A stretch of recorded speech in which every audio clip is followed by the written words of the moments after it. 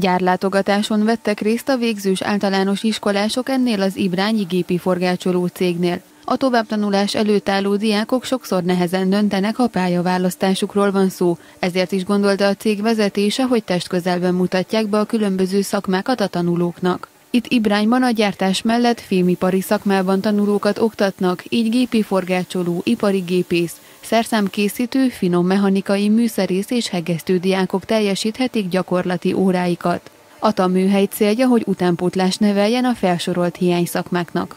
Két hete csináljuk a szakmaválasztó kirándulást ezeknek a gyerekeknek, eddig kilenc iskola fordult meg nálunk, közel 200 gyerekkel, és még a jövő héten várunk három általános iskolát, körülbelül 60 gyerekkel. Az általános iskolásoknak a jelenlegi középiskolás diákok mutatták be a szakmát, a Nyíregyházi Szakképzési Centrum Veselényi Miklós Szakgimnáziuma és az Incédi György Szakgimnáziumának duális képzésében tanulói dolgoznak itt, összesen 42-en. Az általános iskolások sokszor nem tudják egy-egy szakma mit akar, többek között ezért is pozitív kezdeményezés a gyárlátogatás. Egyáltalán nem nagyon ismerik a szakmákat, fogalmuk nincs, hogy milyen szakma, milyen területet fed le, és mit csinálnak az emberek ezen a területen.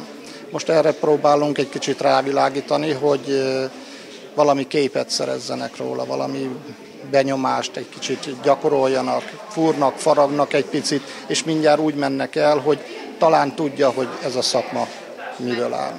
Az Ibrányi cég fő profilja a gépi forgácsolás, hazai és külföldi megrendelők részére gyártanak egyedi alkatrészeket. Az itt tanuló középiskolások a gyártást is megismerhetik, sikeres szakmunkás vizsga után pedig akár munkahelyi is válhat egykori gyakorlati helyük. De a hiány szakmában tanuló diákok már középiskolai éveik alatt is részesülnek anyagi juttatásban.